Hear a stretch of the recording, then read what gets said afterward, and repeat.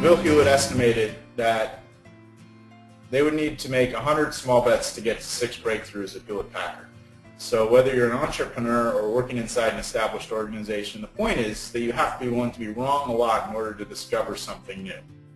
And, uh, you know, a lot of people will say or think or believe that, you know, they look at the Apple example and they say, well, there are certain people or certain companies who just have a knack for coming up with ingenious ideas. And I can assure you, having spent time with a lot of Apple people, that they try hundreds of prototypes for every new product and that they have to fail a lot before they discover something new. So you have to have this more of a willingness to be imperfect, to learn as you go, and then you know the rewards are that you end up discovering things like the calculator.